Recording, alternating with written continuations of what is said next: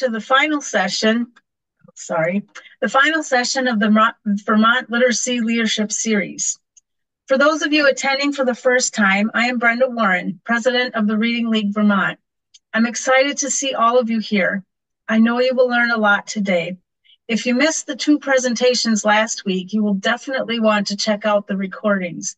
They are both packed full of great information. The recordings will be available on our website. For those attending for the first time, I want to tell you a little bit about the Reading League Vermont and some upcoming events. We are a state chapter of the Reading League National. There are currently 33 and counting state chapters that are all working to advance the awareness, understanding, and use of evidence aligned reading instruction in their respective states.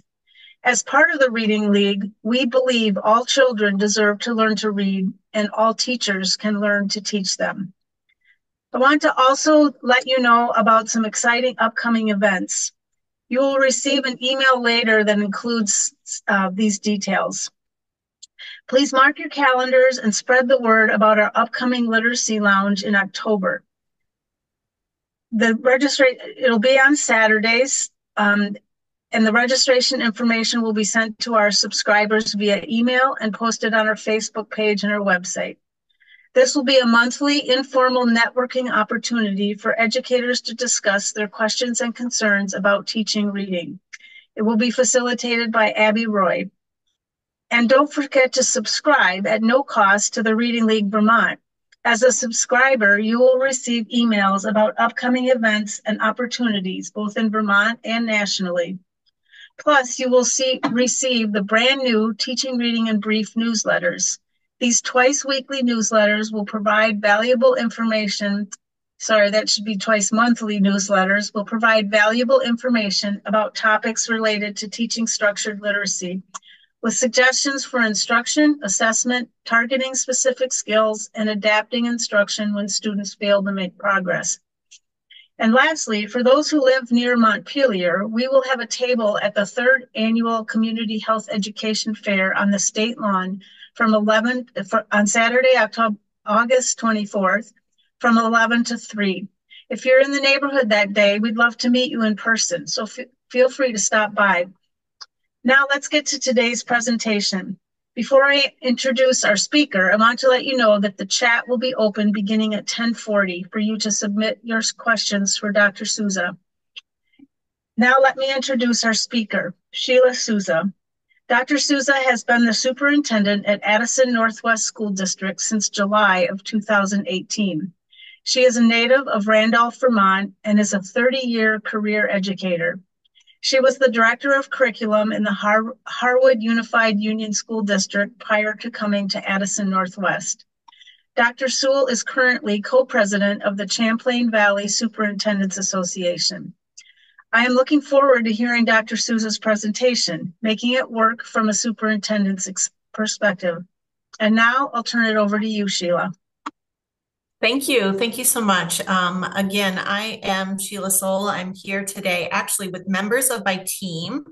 Um, and I think that's really important because the work we've done here in Addison Northwest um, is largely because of them. And I want to be sure that they receive the credit and are able to speak from their perspective as well. So um, I'm going to go ahead and, and get started. Again, um, I'm Sheila Soule. Um, I am the superintendent here in Addison Northwest. I've been here since 2018, and co-presenting with me today will be Kara Griswold. Um, Kara was the director of student support services here in the district from 2013 until uh, last year. We miss her very much. Um, Kara, I don't know if you want to say hi. Yes, hello. Good morning, everyone. Thank you for having me. I'm looking forward to sharing all the work that we've done to move literacy forward in our district. Great. So um, here's a bit of an outline of what we'll talk about here today. We'll give a little bit of an introduction. That's this. Um, and then we'll talk about um, the beginning of our work in the district, our PD plan, uh, the supports that we offered, and um, some other uh, considerations before we talk about our key learnings and some takeaway. So um, our district transitioned to a structured literacy approach to provide a research-based approach to support students with diverse learning needs. Um, this shift helped to ensure that all students would receive systematic and explicit instruction in reading, writing, and language skills. Um, and as we know, we're all here on the call, structured literacy has been shown to be effective in improving literacy outcomes for all students, including those um, who struggle with reading. And I think that that is a really important statement because um, it's not just for those who struggle in reading. I think it's really important to remember that um, it's a shaky foundation um, for all students to not have this foundation. A lot of our kids come into school, they already read, um, but they may struggle later on um, without this explicit instruction um, to expand their skills once the comprehension gets more difficult and other things. So, this explicit instruction is for all learners, not just those who may struggle with reading. Um, so, looking ahead, um, I want to talk a little bit about the why, um, why we did this work. Um, and before we start this, I think it's really important um, to talk about my own experience with systems work um, and literacy coming into this position in 2018 because I do think it's relevant and helps to explain the sustained commitment we've made here in Addison Northwest. Um, as Brenda mentioned, I'm 32 years in public education. I spent the majority of my career working as a director of curriculum. I actually have an elementary mathematics background. I'm not a literacy expert. Um, 10 of those years as director of curriculum was in the Harwood Unified Union School District, um, which is also where I started my teaching career. So I spent a lot of years there. Um, Harwood is a, a, large school district, geographically speaking, um, and especially in a pre Act 46 environment. Um, we really lacked a systems approach to literacy instruction. Um, with individual schools in the district adopting sort of preferred practices uh, with some overlap um, over time in my time there, we were able to put into place some common assessments, which were largely based in a balanced liter- literacy approach. Um, but also during this time, I had the good fortune to work with Donna Ray Dawson, who many of you probably know as the Director of Student Support Services there. And she w- recognized that our um, performance gaps in our local uh, and state level assessments were really representative of a need for explicit instruction. And um, we were trying to make the move to integrate um, more broadly a structured literacy approach there um, as I was leaving, which was predictably, I think I could say predictably, um, met with some resistance. So, in coming to Addison Northwest, um, Kara, I recognized that Kara and her team had already done some of that heavy lifting, so to speak um, to move the needle forward um, on a universal approach to structured literacy instruction. Um, so I really saw my job as a superintendent um, to clear the path and support Kara and the other administrators in, in implementing this comprehensive PD plan, which we'll talk more about. Um, so again, I've said it to Brenda sort of more laughingly, but I, I think my job was to get out of the way and make sure the work could happen. Um, so kind of the beginning, the why, um, Carol will speak a little bit about this, but I always ask like, so, sort of like for, um, what, for what was the problem for which this was the solution? Why, why are we moving in this direction? And um, this data that's referenced here on the slide um, is a representative sample of what we were seeing at, at, grade level. So free and reduced lunch students were 66% below um, proficiency. Non-free and reduced lunch were 50% um, below proficiency in reading, state level reading assessment. Um, and um, we saw boys as compared to girls performing um, more poorly. So um, I think the identified um, issue, the problem, was the lack of a consistent scope and sequence and um, no real common resources um, or, or, programs in use across the districts. I think I think there was some um, foundations in use um, and some um, local assessments that were being used, but not really a district-wide approach to this. So Uh, that was kind of the state of the state at the time. And then I'll let Kara kind of speak to where we went next. Yeah, so I attended a training um, in the middle of the state somewhere. Um, I can't remember the location. It was like a large barn. And Michaela uh, Martin and Andrea Watson were presenting the work that um, Williamstown area had done around moving the needle um, to change their literacy results. And sitting there listening to that, I was like, oh my goodness, like our profiles are very similar. Like we could be doing the same thing. Um, and I was fortunate that the special ed staff that I had been working with the last few years had already jumped on the bandwagon of structured literacy and had already taken courses through the Stern Center using the OG approach. And we're really seeing phenomenal results with students with differing abilities um, and really changing their outcomes. Um, so I brought the information back to the team um, and the current um, director of curriculum at that time, the current superintendent at that time, and the principals um, all really thought it was a great idea. So we worked with Stern to map out an approach for over five years on how we could train all of our K through four, K through six um, staff, and all of the special ed staff, pre K through 12 um, to implement structured literacy approaches across the, the district. So it would be a unified front to really change our reading outcomes for students. Um, and my personal background was teaching special ed, um, so kind of a passionate piece there. And so this was largely our, our plan um, and uh, started in the 2019 2020 school year. Of course, we did not realize that COVID was also going to happen during the 2019 2020 school year. Um, but nevertheless, we persisted um, in our effort. Um, and in the first, in the beginning, we worked to train our K through second grade teachers um, using our early release days um, and other time. Um, we also trained our central office directors at that time. And then in the next year, we expanded that uh, again, working with Stern on all of our professional development days. Um, to train third through sixth grade teachers and um, started some real intensive um, principal support at that time. So all of our teachers took um, the took Orton Gillingham for classroom educators.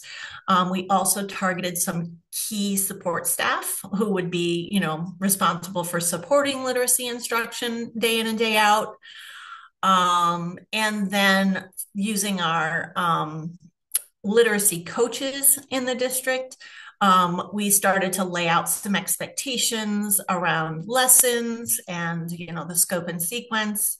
Um, and those outlines were were shared and then you know teachers were supported in um, being accountable to those plans um, throughout this time, teachers received ongoing support from the Stern Center as well as from our local professional development literacy um, coaches. We have very limited, a very limited coaching model in place. We have very limited resources um, in terms of liter- literacy intervention and coaching, but we do have a little bit, and we were we were careful to make sure to direct every ounce of that uh, towards supporting teachers and doing this, you know, hard work.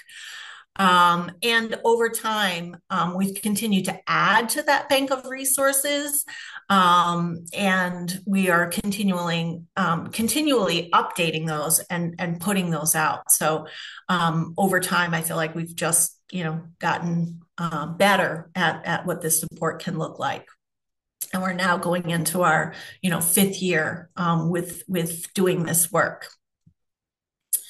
So you know thinking about teachers and thinking about what a major transition this is for them um, you know many teachers have not um, had any professional development that looks like this in any of their teacher training.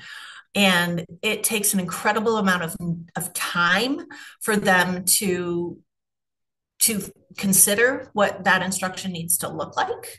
Um, and so we want to make sure that we provide that time to them by making sure they have common planning time, common MTSS team time, Um, and we also set an expectation for the amount of instructional time um, that they'll be providing toward literacy. So we aim to have a mandatory 90 minute lit block that's uninterrupted by other things um, day in and day out. So time is a huge piece of the success of this initiative. Um, we also wanted to bake in some incentives for teachers. This is a lot of work. Um, teachers did have the option to use their professional development money um, to take this course for um, for credit, which allows them to move on the salary scale, um, which is an incentive. And as I already mentioned, through teamwork, um, we provided that time for teams, teacher teams, grade level teams, um, to be able to work with their peers and the coach the coaches to co-construct lessons and look at data within our MTSS structure. Um, I don't know, Kara, if you have anything you want to add about um, what that teacher support looked like. Um, I think the also the key piece too is if you came, come to work at Addison Northwest, um, it was kind of known that you were going to take the training to become a structured literacy teacher. So it was kind of built into the onboarding process, I think, which is really important for folks to know. Um, and and the the ways that we did that, we worked with folks around when it was offered. We also had to think about support for our administrators who, you know, like myself, maybe have not come up as a literacy expert over the years. We have, um, you know, our, our principals have done all kinds of work, um, um, but none of our elementary principals were elementary school teachers. So, um, what does that, you know, need to look like from their perspective? Um, and we made time for them with coaching and support through Stern to do walkthroughs and think about that sort of systems implementation and what that would look like. So there's always time um, provided for um, our school leaders um, to work with um, experts in terms of what the instructional elements need to look like. We also, um, through our administrative teamwork, uh, each principal set a literacy related professional goal. And then we allocated time throughout the year to um, work on those goals collaboratively, talk about where we were in the in the goals work and what our next steps were. So really just being intentional about what we were trying to achieve. Um, and then I think Kara's already alluded to some other, you know, other considerations. It's not enough to just kind of do this in five years' time because you've got to think about how to sustain this uh, priority. Um, over time, we have had 65% of our elementary teachers are uh, are new at the elementary level. That's a, a lot of turnover. So we've had to think about, you know, how do we kind of you know make sure that they are getting um, the same training and the same level of support that their peers had over time um, so that um, plan for turnover really needs to be um, intentional and then um, the coaching is intentional. They can't just learn it. They've got to have that support in transferring it into their instruction. Um, so coaching is really key. And then, um, as I mentioned before, uh, we have, I don't know if I can get here. Yeah, we have um, continued to develop a resource library. Um, our coaches do a ton of work on this and keep it up to date. Um, and this is a, a go-to resource guide um, with scope and sequence and lesson expectations and so forth um, that's in our district for teachers to use. So um, that's become a very critical um, resource for our staff as well. Um, let's see. thinking about our results and our key learning and and sort of our takeaway. Um you know it's this isn't something that you do and then see instant results in your state level data. Um let's see if i can get to that first. We're not seeing results in our state level data um not yet um, and that's okay because it kind of goes back to my point of what we are trying to accomplish is to build a really strong foundation from which to build. Um, and I do think that over time we'll see more transfer and more of a relationship between this work and our state level data. But as you know, I mean, uh, the SBAC um, or the VTCAP is is testing, you know, sort of different things than that direct Orton Gillingham um, instruction is providing. So it will take time to see this showing up um, in our data we have seen positive outcomes in our intervention. This is some um, look at our local assessment data in fall and in spring over the course of one year. And you can see that the blue line is our students who are receiving support through our MTSS um, structure, and the green is all students. So you're seeing that achievement gap and the trajectory of that achievement gap beginning to close. Um, so that's really promising. But I think the work that ex- um, the data point that excites me the most is in looking at the referrals for a specific learning disability in literacy. Um, I think this is the beginning of a trend. I'm hopeful that it's the beginning beginning of a trend. Um, but um, you can see that in 2019, 22% of our referrals were for um, SLD and literacy, and last year that was down to 9%. Um, so that feels really significant to me. Um, if this means that fewer students are being identified um, as having a disability in literacy, I think we're doing the right work. Um, Kara, do you want to say anything else about the data or about those referrals?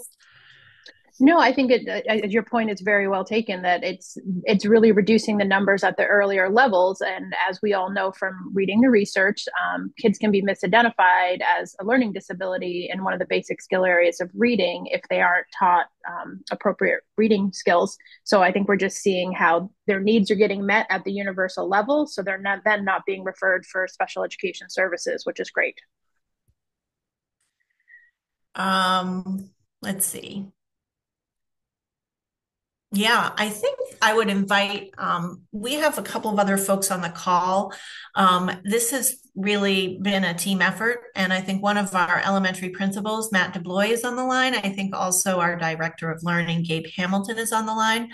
So I might invite them to come off mute and add anything from their perspective that's relevant to our work here.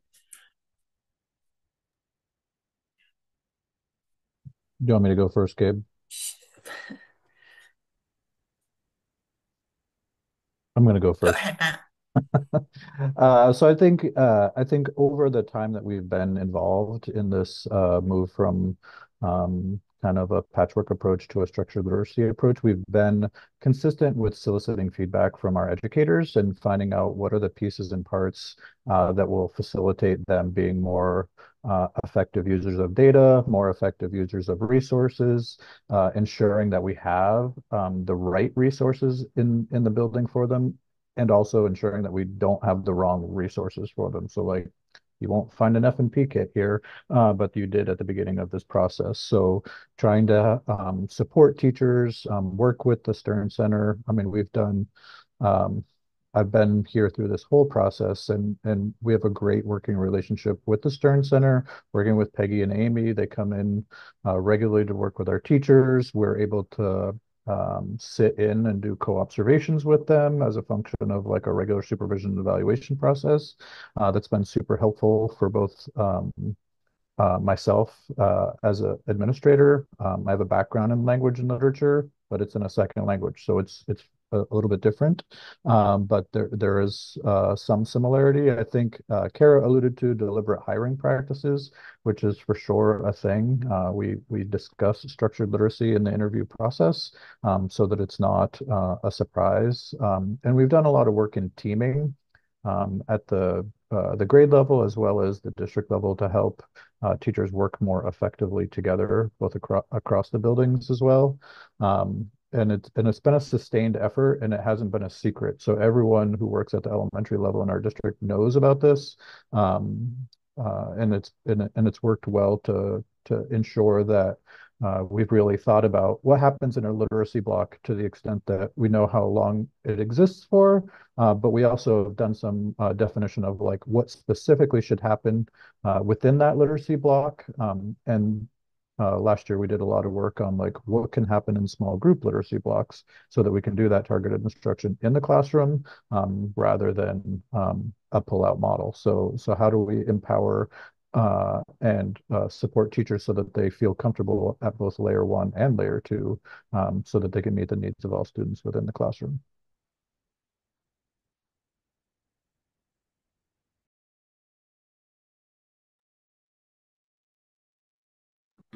Gabe, do you want to add um, anything from your perspective?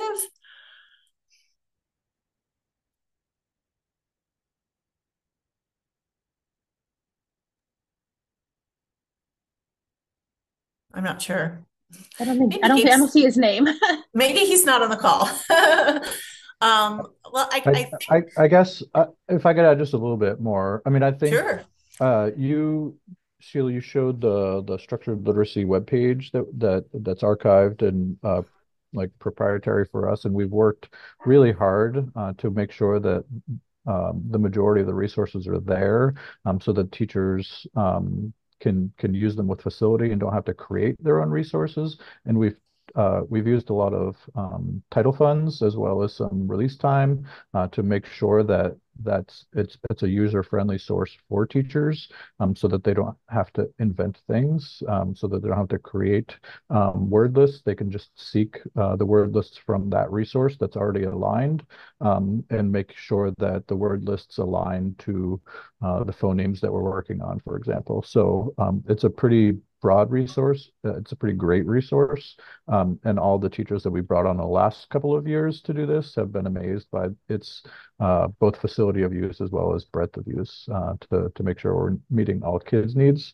And I'll say like the one significant change in my time as a principal here is when a kid goes from a pullout service, should they have a pullout service as part of an IEP, and they or or for any other reason they come back into the room, there's there's a ubiquity of language that exists and a consistency of language so that they um, so that everyone understands kind of the same lexicon, um, which did not exist before when we used more of a patchwork approach. And I think to piggyback that, Matt, it's across the district, which is great. You can go to either elementary school, you can go to the middle school, and the language is still the same for folks, at, for, especially for students as they cross between schools and grade levels. On behalf of uh, our participants, I just want to say thank you so much for that. It was a really rich presentation and a terrific window into the systemic approach that you've taken and the ways that you have uh, dug in for the long haul. So kudos. Um, my name is Lori Quinn. I'm the uh, Stern Center president and also a member of the Vermont Reading League. And I am uh, here to facilitate questions that folks have um, for our presenters today. There's one here I'd like to share. What are your thoughts about training teachers to increase their knowledge of the foundations of English, such as training in letters, versus training teachers in specific programs? So general knowledge versus specific programs. Thoughts on that from anybody? So that's why we went with um, the Orton Gillingham approach because it teaches teachers the foundations of how reading and literacy is taught, and it's not a program. Um, the teachers have to gain very detailed, specific skills in how to be a teacher of reading. Um, that's why we didn't go with a program approach because before we were using foundations, um, not implemented well we were using foundations. That was the K2 curriculum. Um, and it wasn't being implemented with fidelity, and folks didn't really know what it meant. They didn't know what a phoneme really was, or what is a diagraph, what are the six syllable types. Um, so, by going through the structured literacy training or the OG approach to teaching literacy in the general education classroom, they became teachers of literacy. Um, so then you don't need a program. You can actually use the approach to build your lessons on a daily basis. Thank you, Kara. That's helpful to uh, second question here, which is what is being used after F&P was stopped, wondering what is out there. So um, I think you've answered that in part by saying it's really using the Orton Gillingham approach rather than a specific program. But um, perhaps you could speak to what's happening in um, classrooms in terms of foundations now or other um, other curricula? Yeah, I, I mean, I would say that's why that website and those banks of resources are so critically important because that has become essentially the curriculum, right? That's the place where we go to. That's where all of the resources are shared. Um, we've also reached, recently purchased Fish Tank, and I don't know, Matt, if you can offer anything um, specific about Fish Tank, um, but that's another resource that we'll be using um, going forward. We piloted that last year, and we'll be moving that into full implementation this year.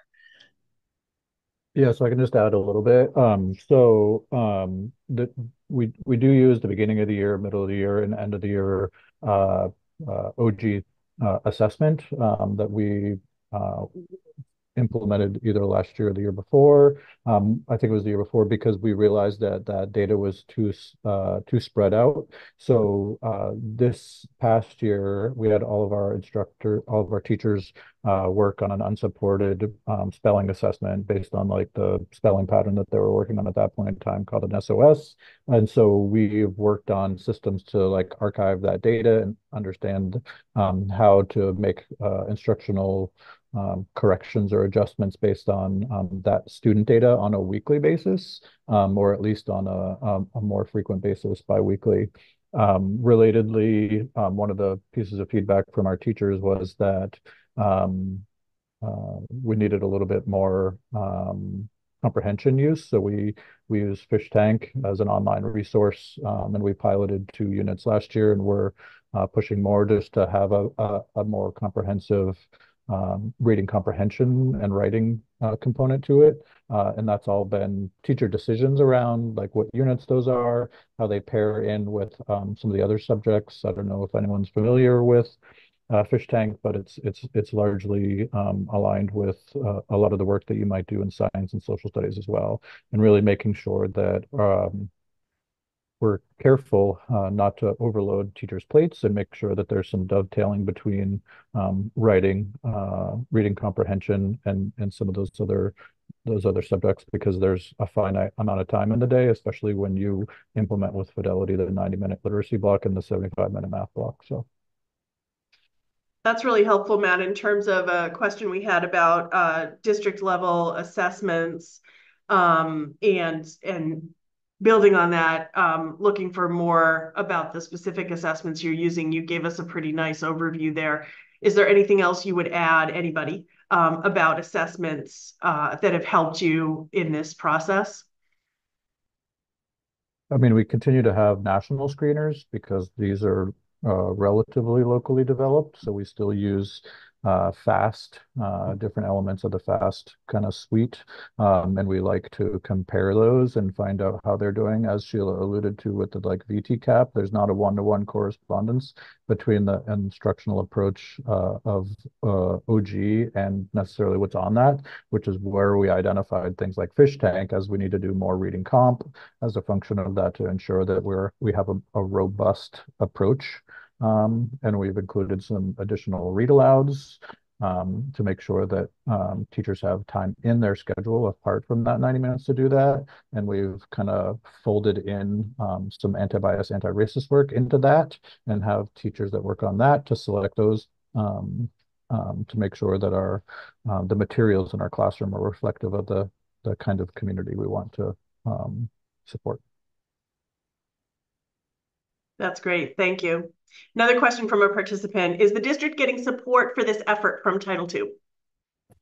Um, we are. We're using our Title II funds to help pay for some of the professional development. Um, again, if teachers are taking this for credit, they don't. We don't use Title II for that. We use uh, they use their professional development funds. But yes, we are able to use our our title funds for that and for some of the resource. Um, for getting some of the resources as well. Um, so yeah, we are we are using our grant funds. I wish Gabe was on the call because he could tell more specifically and strategically um, how he's able to do that. Um, and certainly, if anyone has specific questions, they can follow up, and we'll be happy to to um, share our strategies with you.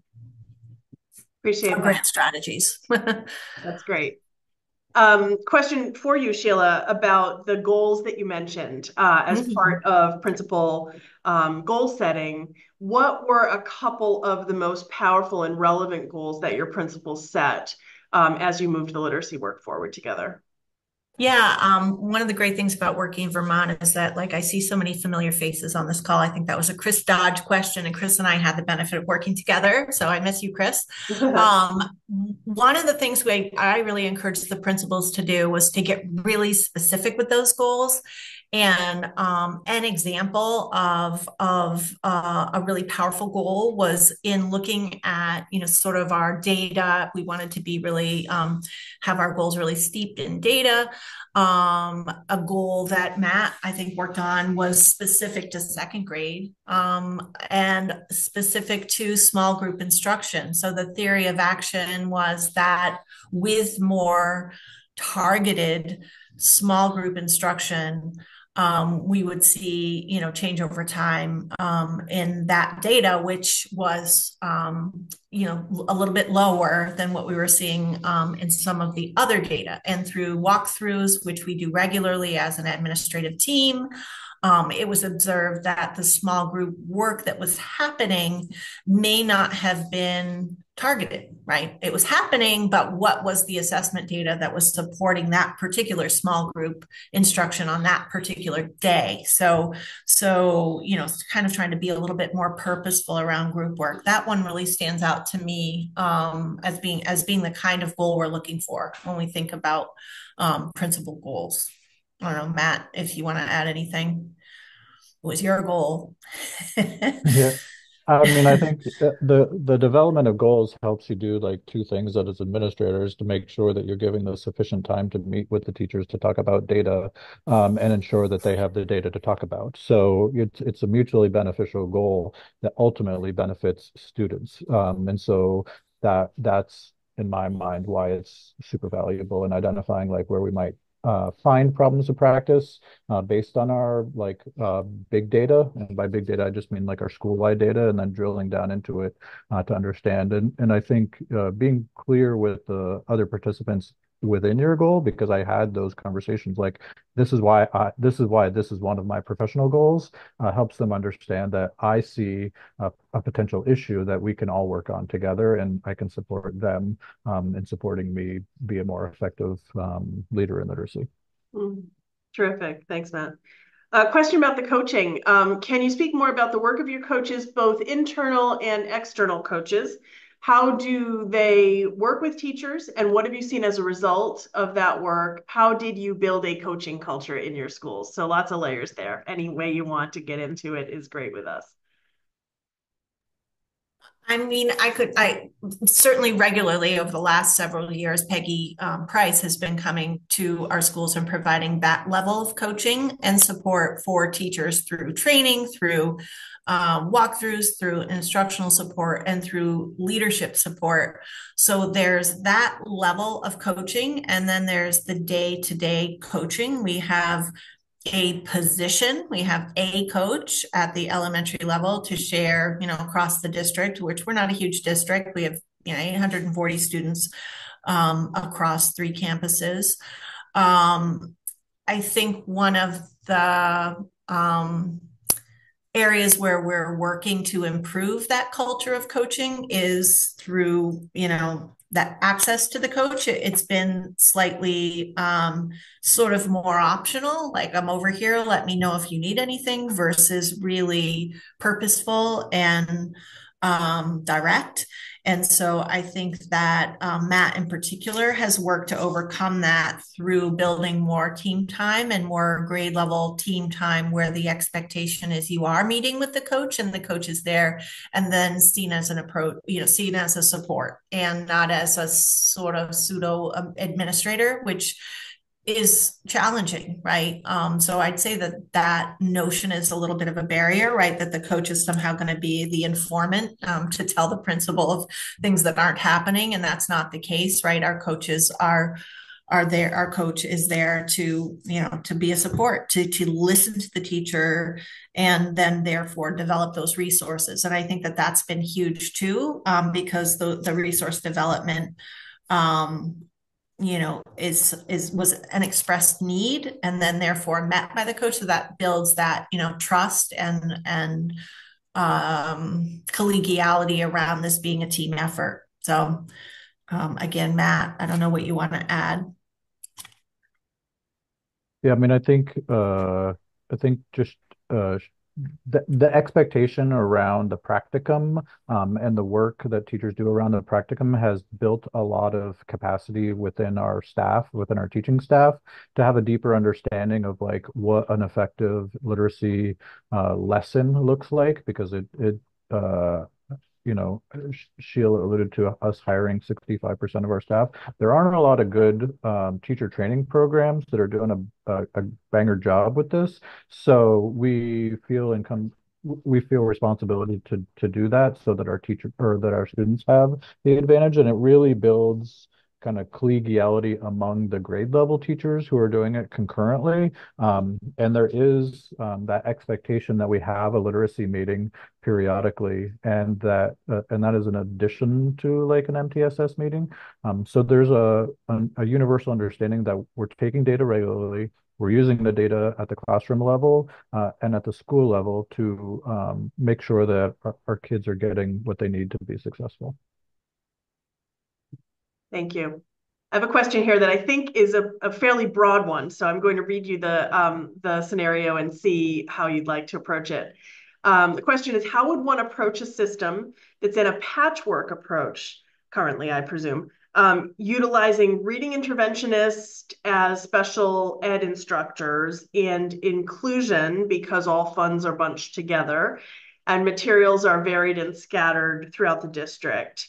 Um, I'll stop there. There's more to the question, um, which you're welcome to read, but just to give you a sense of, you know, in that fragmented environment that's being described, what advice would you have for setting a direction and beginning the change process?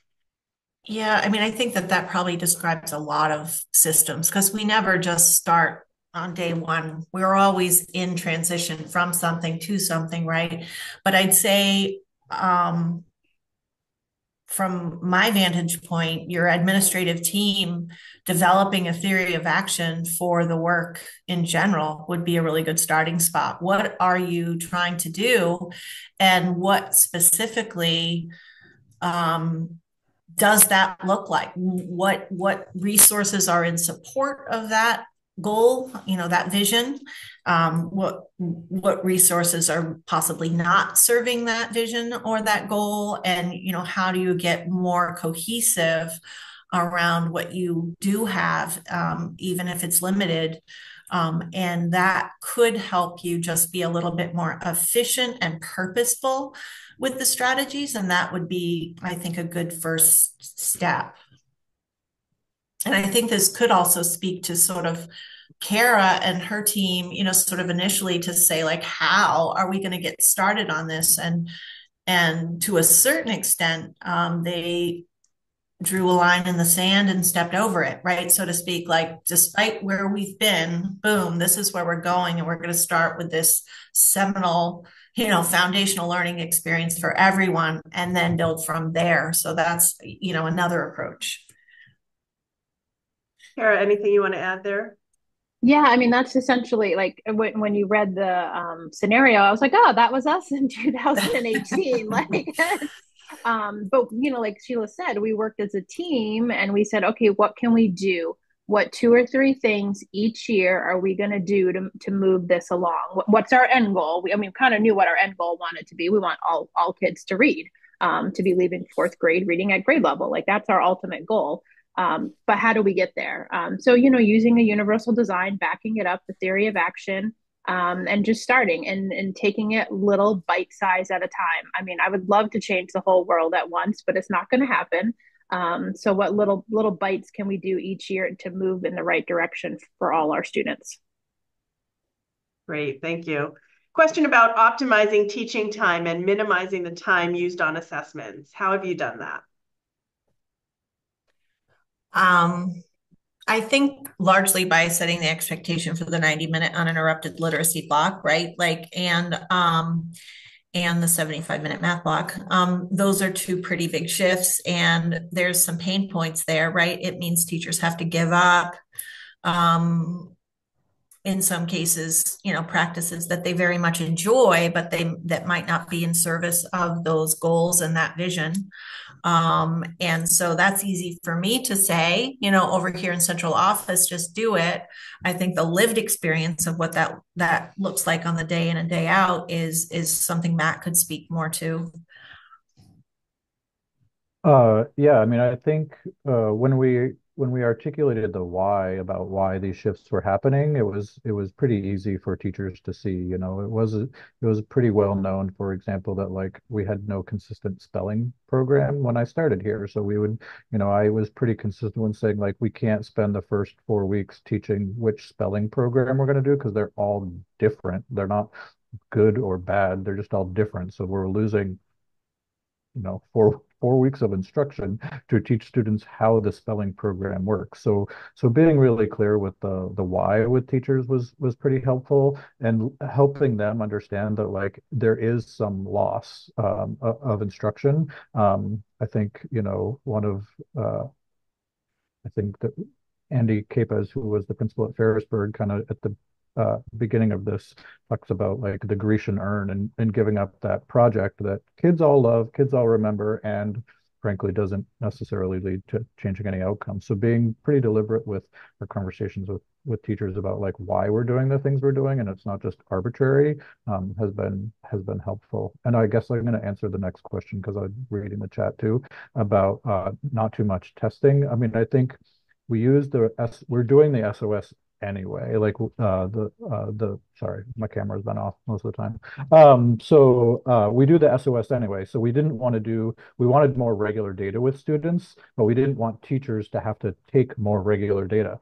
So we just uh, like a, additional data. We just wanted to assess what they were actually doing, and so um, that's just data that they're taking anyway. We're just using it more practically to make sure that the the students are learning the targets, and we've worked toward like what is a mastery level of understanding at the classroom level, so that teachers aren't moving on just because you've taken the assessment. And we've worked with teacher teams to make sure that like if you're really not at 80% um, at the classroom level, um, you really can't move on, and giving that permission because there is you know there's a breadth of uh, regardless of what uh, your curricular expectations are, you're probably not going to accomplish them in 175 days or whatever your your calendars. So making sure that we have an expectation that that students are learning and demonstrating their learning prior to moving on. And that permission and regular conversation around it shouldn't just happen at the end of the trimester or semester. It should be ongoing between the administrative team, whatever your structure is, and and the, the teacher teams.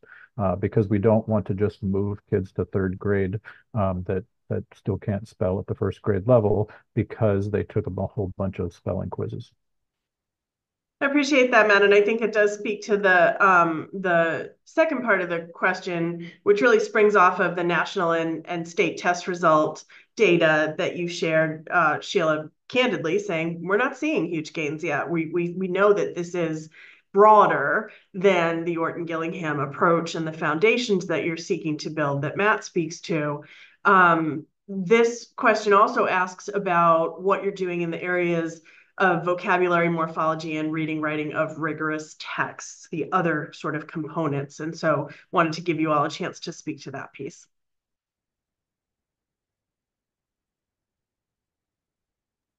I think we're building, we're starting to expand on those other pieces. I think in the beginning, just transitioning to the SOGI approach was a very heavy lift and really sort of giving teachers the time to focus on that was important because if you try to do everything all at once, nothing's going to get done very well.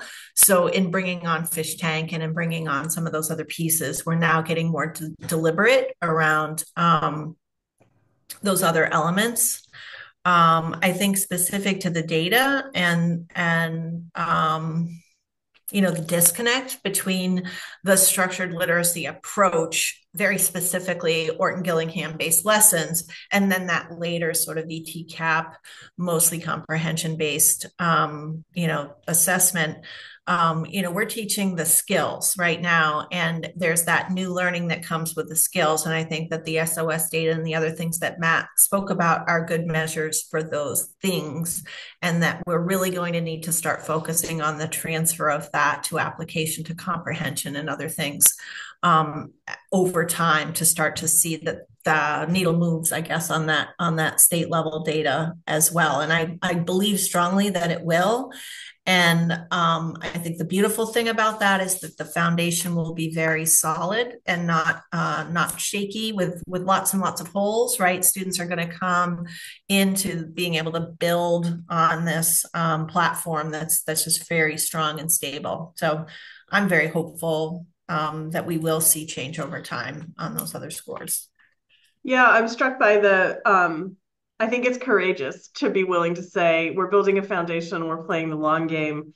Um, education is is full of impatience for the quick fix, but we didn't get into this place of literacy levels quickly. Um, and I think it, serves us all to remember that. I would also note that the the Orton Gillingham approach, the Orton Gillingham approach certainly does not neglect vocabulary writing, morphology, these things are all part of the approach. Um, and just because we are partners uh, in this work, I know that your professional learning for teachers has also included all of that in the in the scope and sequence work. There's a question here about um, the literacy resources and the um, tremendous trove of um, resources that you built for the district.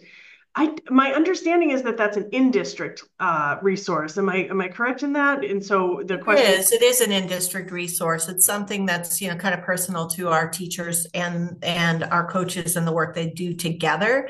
So it's very specific to our district and our work. So um, it's not something we would necessarily publish, you know, for others' use, but we'd be happy to share sort of pieces and parts of it as a representation or a model from which to build your own work. And I think that that's a really important piece. I think when you build something together, it represents a lot of shared learning and that there's value in going through that process together with your teacher teams. Um, but we'd be happy to share sort of the framework for it so you have some idea of, of what it includes.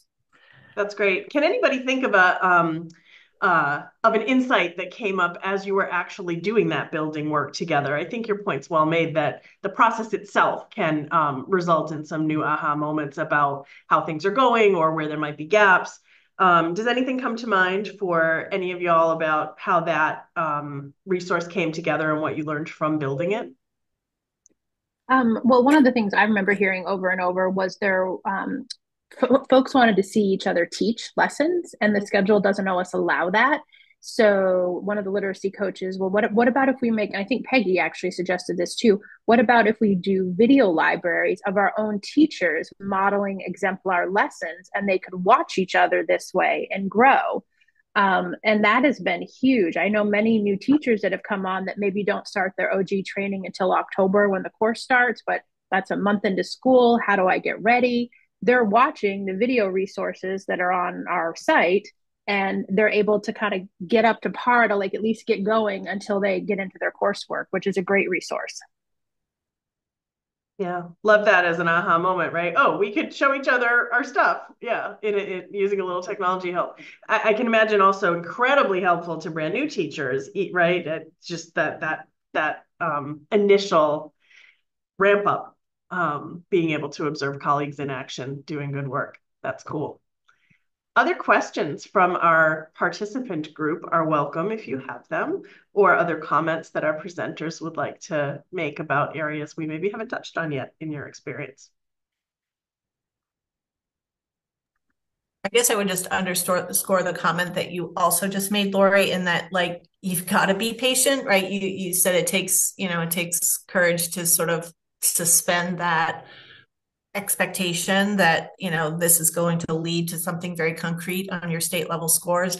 Um, I think what we're doing is the right thing to do for students. And I think, like I said, that over time that's going to show up. But there is kind of impatience, I think, uh, all around. Like people are like, oh, reading again. You, you know, what, when, when are we going to hear, when are we going to focus on math or when are we going to hear more about, you know, and it's not like we're not doing those things. Um, but this remains our top priority. And I think rightfully so. And um, yeah, and that's just an important thing for us to continually share, you know, whether it's the board or for our staff, you know, sort of saying this again, which, you know, they don't, but, um, but, um, but that could be a perception, um, that, that others may have. And so just to kind of be prepared for that.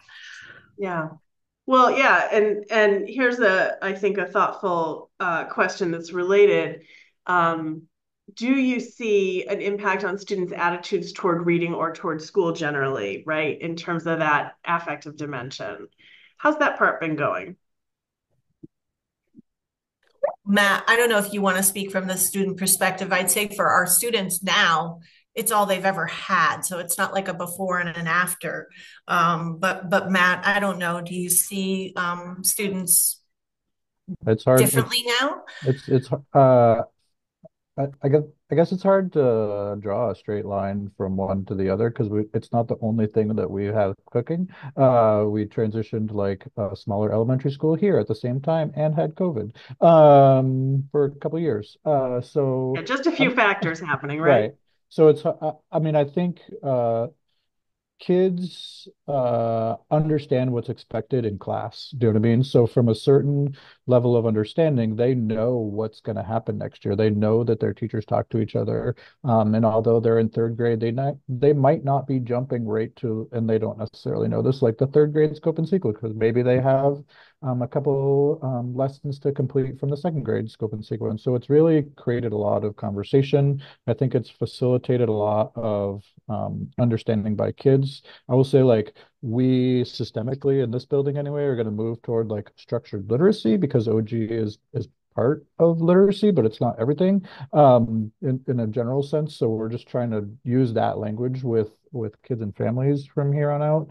Um, uh, but I, I don't I don't know. I mean, there are some kids who struggle with handwriting, uh, who would struggle with handwriting regardless of what we were doing. So uh, I don't know. I don't know that they're uh, like Sheila said, they don't know any different. And I guess from my perspective, like I'm hopeful that we start to see those gains on the state level testing because the kids have always had it, um, and there'll be, uh, you know, our third, fourth, and fifth graders will have had um, a more robust experience. It's interesting, like thinking about the morphology question from easier or from earlier, because it might not manifest until they get to, you know, high school level science classes where their teachers are like, I don't know why those kids get this vocabulary when it's all, you know, um, Latin and Greek roots, uh, but it, that might be where it shows up, but it's not necessarily going to show up on a on a VT cap for uh, ELA in 10th grade or 9th, whenever.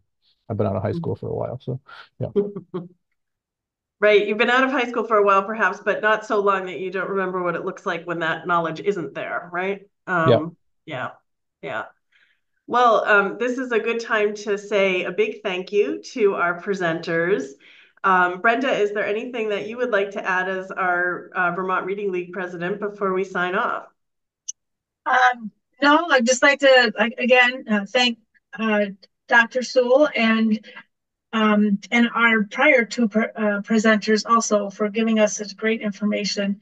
I also want to apologize to Dr. Soule for miss uh, uh, calling you by the wrong last name. Um, I I don't know what happened there. So anyway, I apologize for that. Don't worry. Don't worry, don't worry about that. And I hope that um, everyone has a good rest of your summer. And again, if you missed the prior uh, presentations, please be sure to check the recordings and those should be available sometime in the next uh, week or two. Thank you, everybody. Wishing you a great rest of your day.